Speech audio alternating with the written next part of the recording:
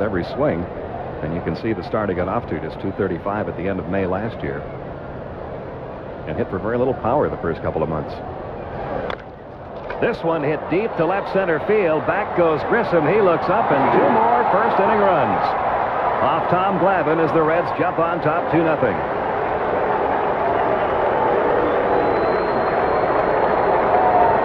Third homer of the year for Larkin. RBIs number 13 and 14. A bloop and a bomb. Watch the leverage on the swing by Larkin when you take a look at the home run stroke because he was back on his back leg, got some extension, and really drove this ball that was up and away from him to straightaway center field. Tommy knew it. This will be the year that Barry Larkin has been hoping to have. He's been plagued by injuries the last couple of years. Had the wrist problems early last year, missed 62 ball games in 1993 due to injuries, but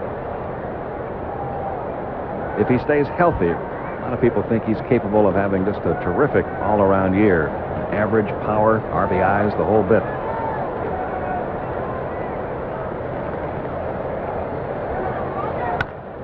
Drills that one to deep left field. On the run, Chipper Jones can't get to this one off the wall. Larkin heads for second. That ball took a far bounce off the wall. Larkin's going to try for three. Here's the throw by Jones, and Barry Larkin slides in safely with the triple.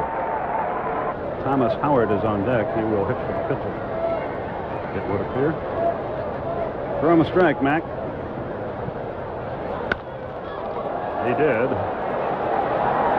Maybe he should have thrown him ball four. Larkin has a two-homer game, and it's nine to four.